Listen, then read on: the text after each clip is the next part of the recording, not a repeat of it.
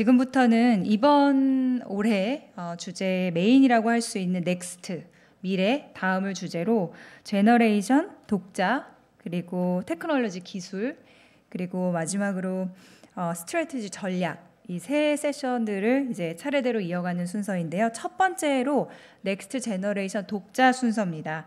어, 이 세션에서는 밀레니얼 세대의 뉴스 소비 방식을 알아보고요. 또 그들을 위한 뉴스 형식을 논의하기 위해서 마련됐는데요.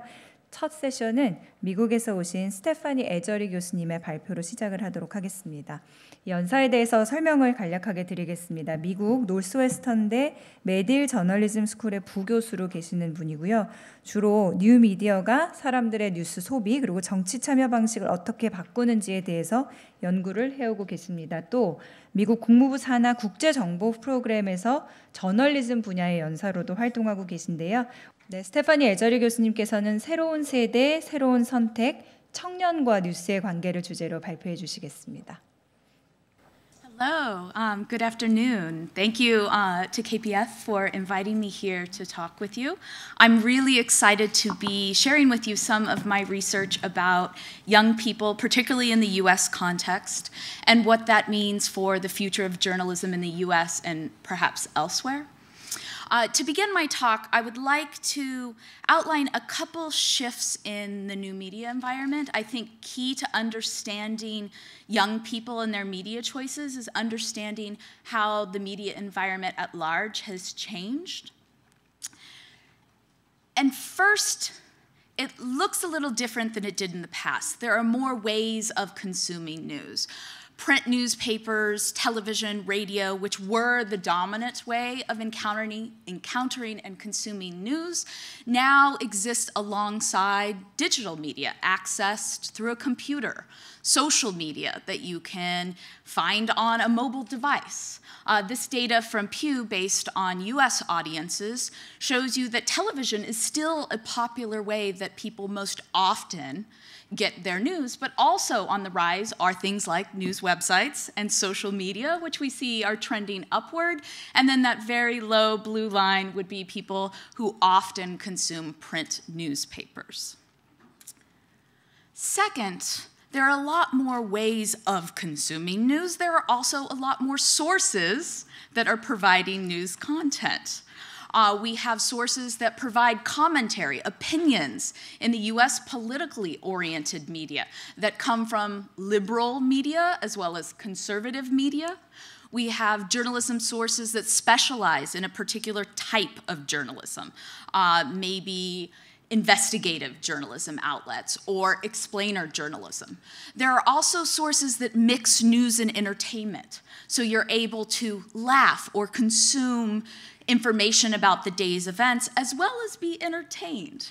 And of course, this is just a small sample. There are many, many other ways to consume news um, and sources to consume that news from. So the question is not only do people consume news, but what type of news are you consuming? Not all of these sources are going to appeal to everybody, and instead, we're seeing that different people are gravitating towards different types of sources. And third, the media environment today is one of high choice. More media means more news, yay, but it also means more entertainment. If you do not want to consume news, it is arguably more easier than it's ever been for you to avoid it altogether. A media scholar, Kim Schroeder, talks about this in terms of the supermarket of media, where audiences walk down the aisles perusing their options.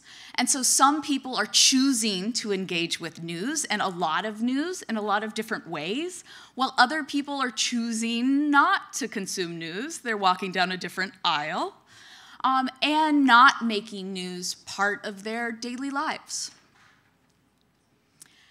And so, what my research looks like in my role as, as a professor at Northwestern is really looking at how these shifts in where news can be found and the types of news people are consuming.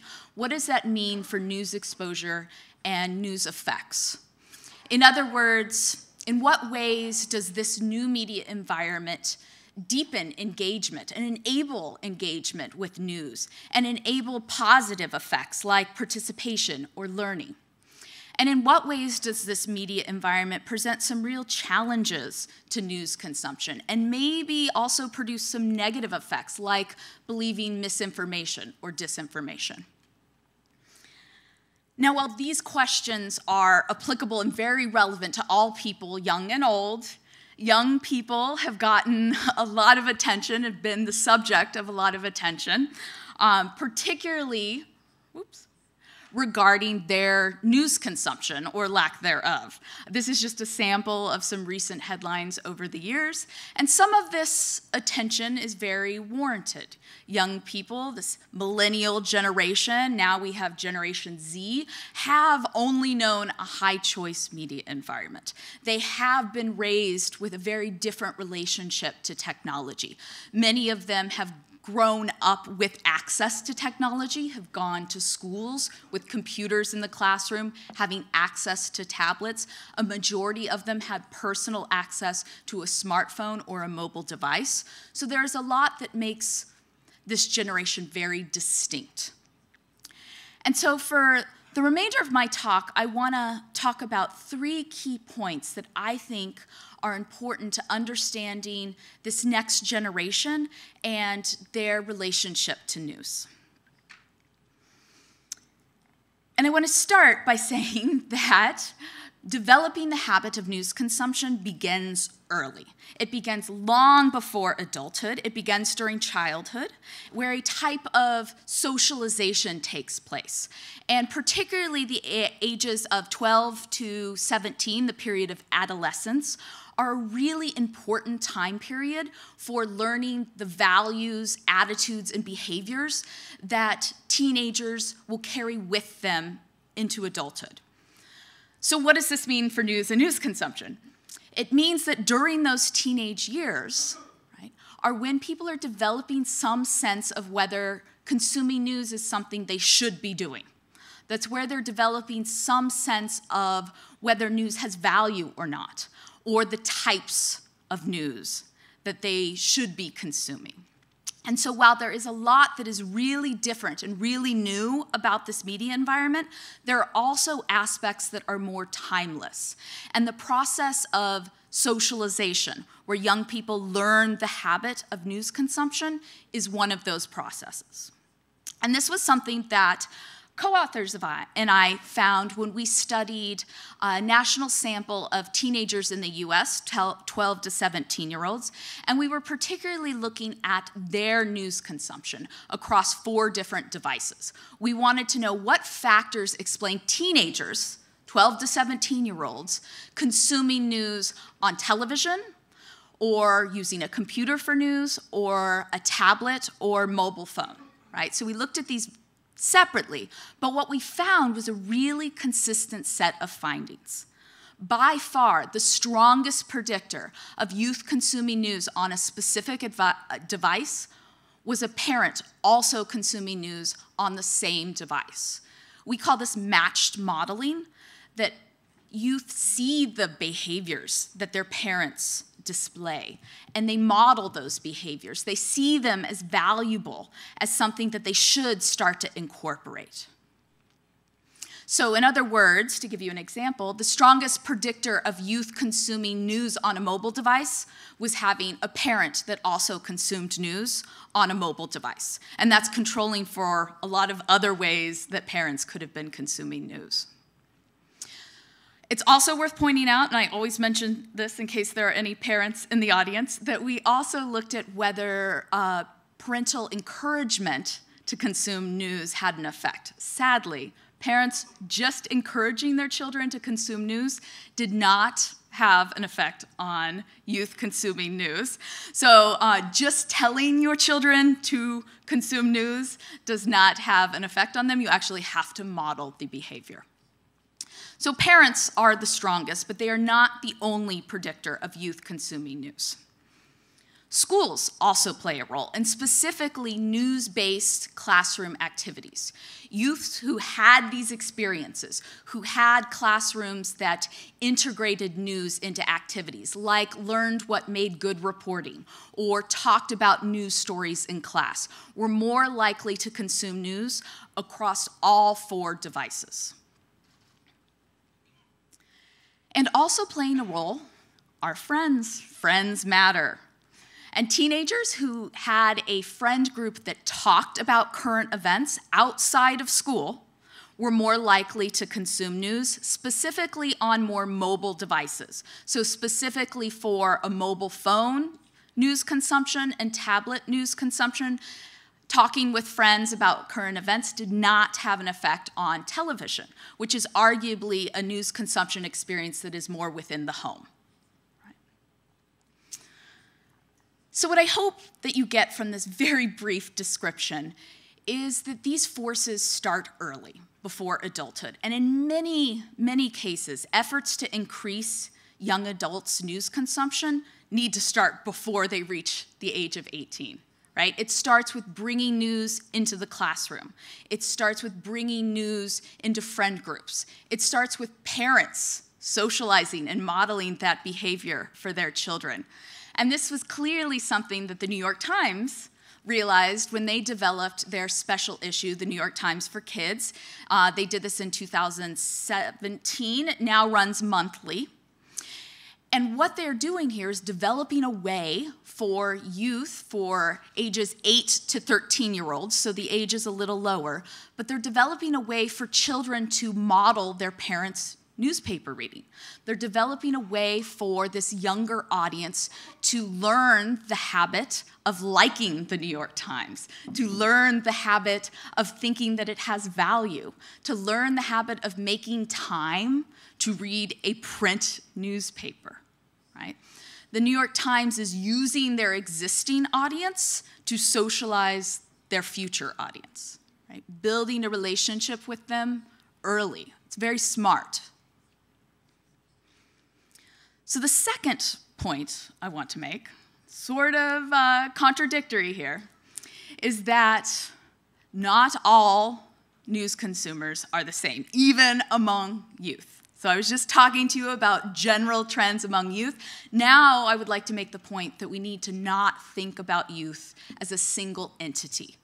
While they do share a lot of common experiences, they are all digital natives, they all have had access increasingly to technology, there are some significant differences among youth. And not all news will appeal to youth universally. And this was something, again, that I found in one of my research studies with a group of co authors where we identified four different types of news consumers.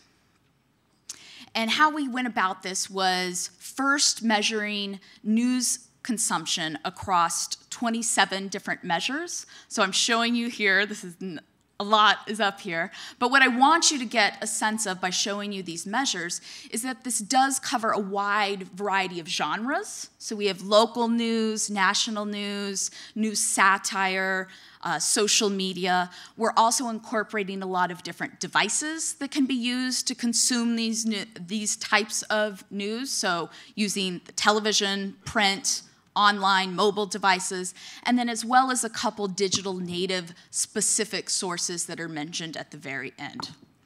So through accounting all for all of these 27 pretty robust but not exhaustive ways of consuming news, we identified four different types of news consumers. So teenagers have four different diets that make them four different types of news consumers. And the first one that we identified were what we call traditional news viewers.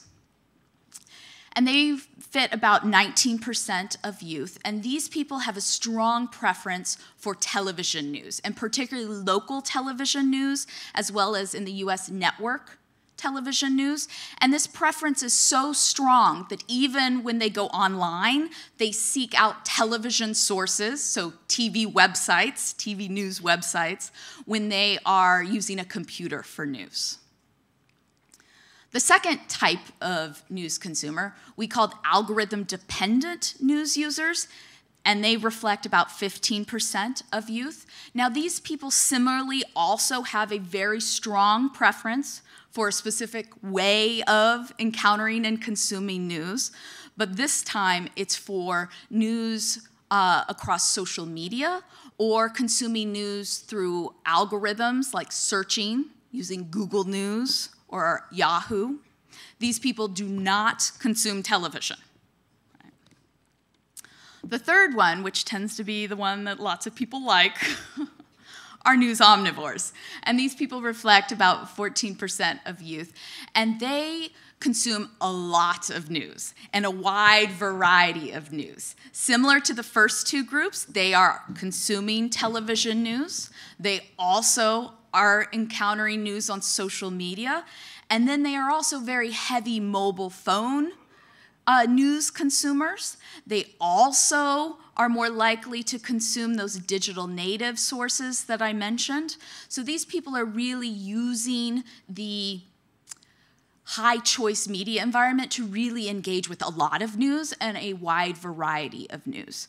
It's also worth mentioning that in this study, we also looked at teenagers' uh, participation in their local communities as well as political activities, and news omnivores are the highest. They're participating at the highest level in their community and also in political activities. Now, for people that are good at math, we're missing a portion of people, and that's the fourth type of news consumer or not news consumer. Um, we call these people news avoiders. Elsewhere, I've referred to them as the unaudience, and they reflect 52% of youth. And these people are uh, very low in all types of news measured. There, despite there being lots of choices and lots of different types of news to engage with, these people are not making news part of their daily lives.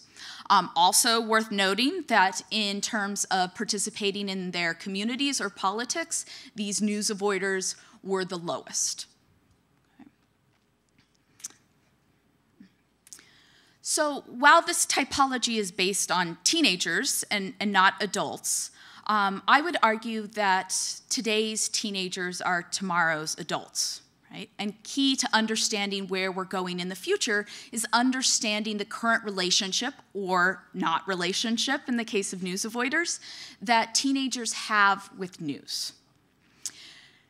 Now, does that mean that these four groups that I've identified here won't change when as people age? No. I, I, think there it is likely that they do evolve and shift and develop as people do enter adulthood and age. In some of my work with the national general population in the US, I've identified somewhere between five to six different types of news consumers. So I do think there is some room for these four groups to fracture, develop, grow, particularly into more politically oriented news diets.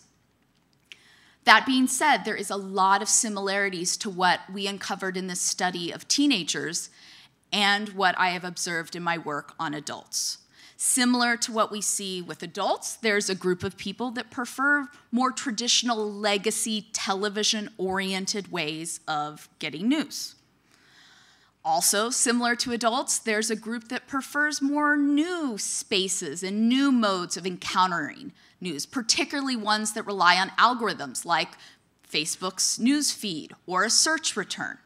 And similar to adults, there are also a group of people that are consuming a lot of news in a lot of different ways, and particularly a group that's quick to adopt new types of technology that they apply to news consumption. But what I want to flag for a little bit is this fourth group, right? I think this is really important.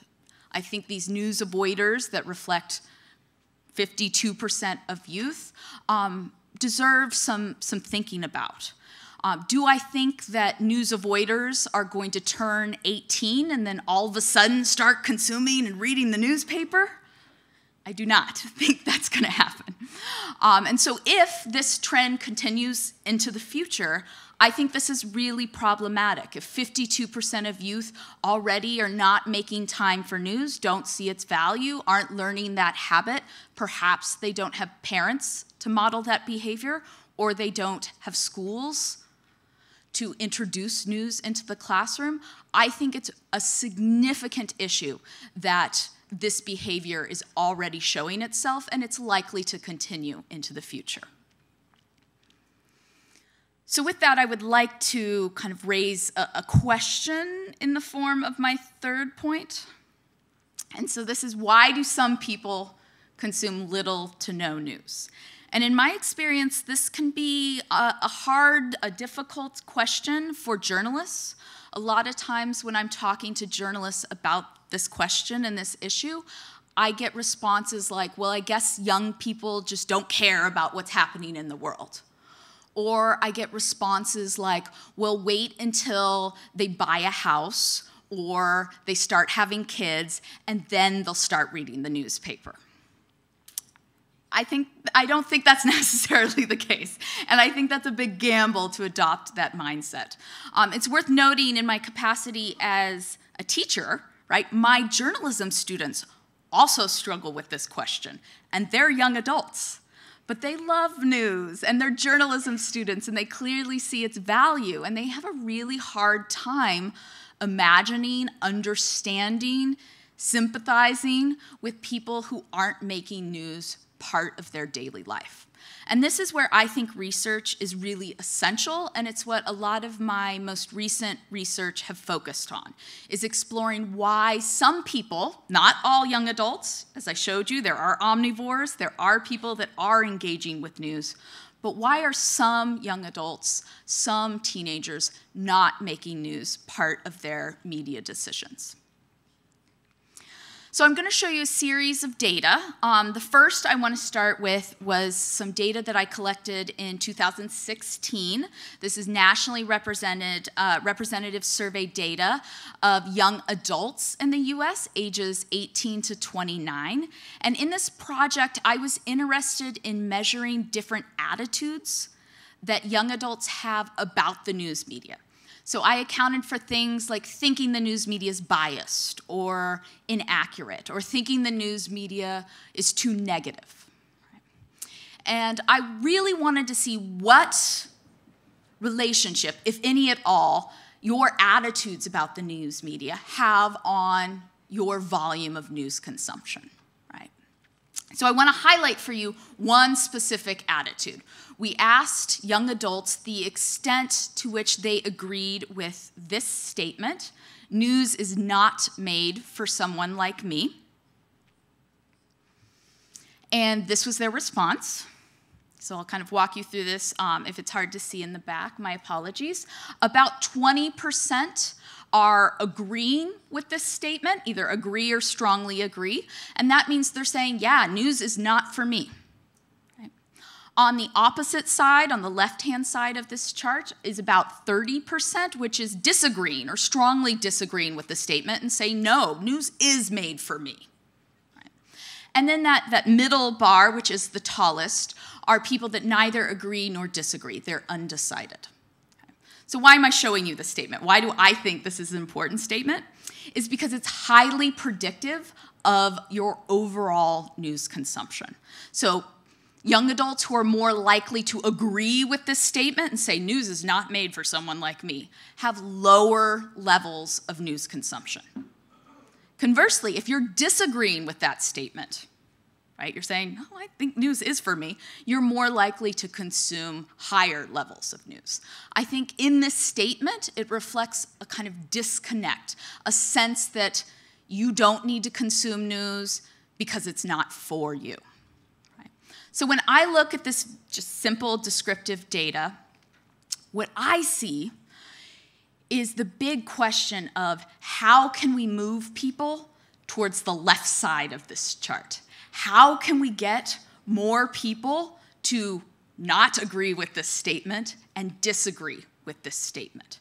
And I think there's a lot of opportunity, probably the best opportunity for those of you that have experiences in changing attitudes and persuasion. I think the best case is with that middle group people who are undecided, who neither agree nor disagree. They're on the fence.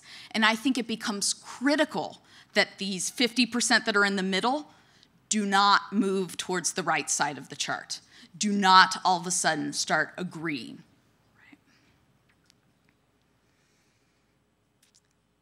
Now, I asked this question again in a follow up survey, this time with uh, a general population this past year. And again, the same relationship holds. If you agree with this statement, you're consuming lower levels of news. If you disagree with this statement, you're consuming higher levels. But what I want to show you are group differences. Okay.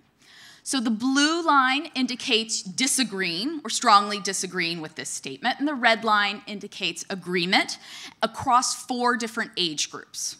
Okay.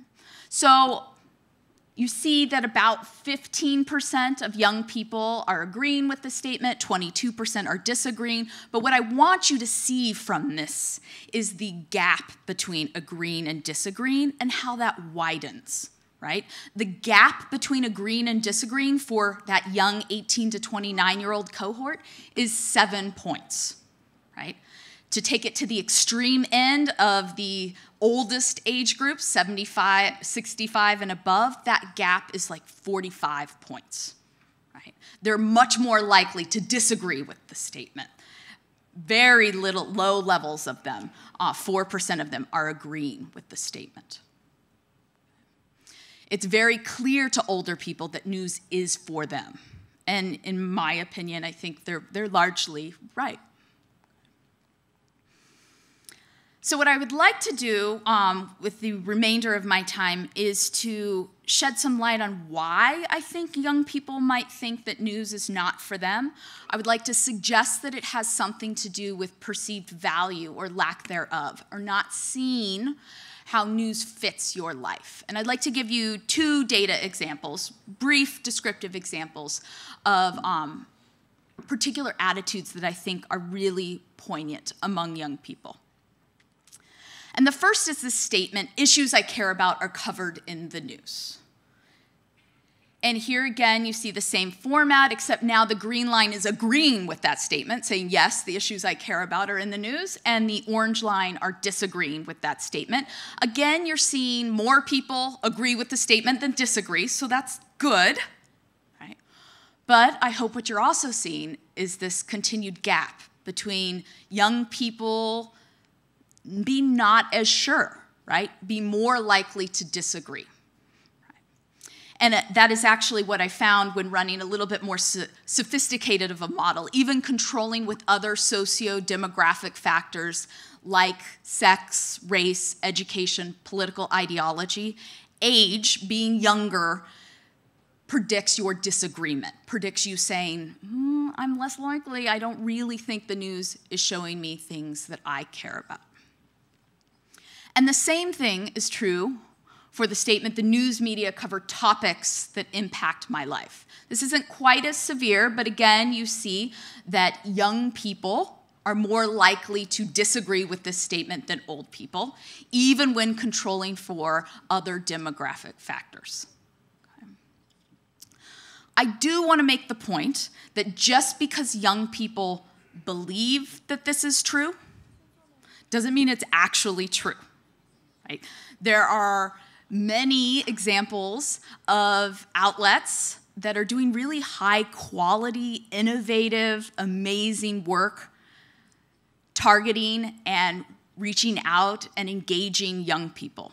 But what I do think these attitudes I've shown you today symbolize are the very real perceptual barriers that some young people have regarding news journalism. And the challenge, as I see it, is how do we change those attitudes? The challenge is how do you understand the issues that young people care about? The challenge is learning how to tell important stories, leading with your new judgment, but telling important stories in a way that young people understand how it does impact their lives. And so I want to end now by coming back to something that I mentioned at the beginning of my talk, which was the challenges and opportunities of this high choice media environment. And I think there are great opportunities uh, to deepen news engagement by creating new spaces, new products, new modes of storytelling that will appeal to news consumers and engage them in an even deeper level but at the same time, there are also some really significant challenges that come with this media environment. Challenges that some young adults face in not developing the habit of news consumption, of not seeing its value in their daily life, or having strategies that enable their very easy avoidance of news altogether. And so I sort of see these parallel tracks um, that become very important for the future of news. Um, figuring out and doing the hard work of innovating in order to deepen people's engagement but also doing the hard work and innovating to try to grow engagement from the bottom up. And I don't think that either one of those are very easy, but I, I, don't want to pretend that converting news avoiders into more regular consumers of news will be easy. But it is something that I think is um, really important to securing the future audience of news and also the uh, a more robust and participatory society. So thank you.